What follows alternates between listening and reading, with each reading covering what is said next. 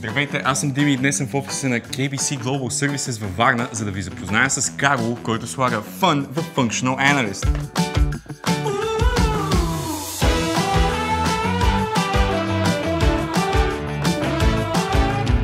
Карл, обясни ми с какво се занимава един Functional Analyst? Един functional analyst се занимава с това да бъде мостът между бизнес и IT сектора. Какво минава по този мост? Информацията относно изискванията за промяната, която трябва да се случи върху системите. Демек ти реализираш някакви идеи да станат реалност. Точно така. Кое е най-голямото предизвикателство, което сега се среща в работата? Със сигурност най-голямото предизвикателство беше свързано с самото започване. Като първият functional analyst в България трябваше да разчитам на колегите от Белгия, за да мога да влезна в час. Супер, ти си бил истински пионер, забил си флага и си казал, тук ще става Functional Analysis.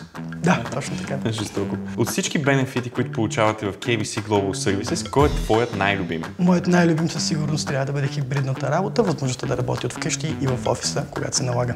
Вау, супер. Това значи, че имаш готина къща и нямаш деца. Точно така. Честито. А кое е твоето най-любимо място в офиса? Любимото ми място в офиса всъщност е извън офиса и една беседка, на която успявам да намеря отдих при по-тежките натоварени дни.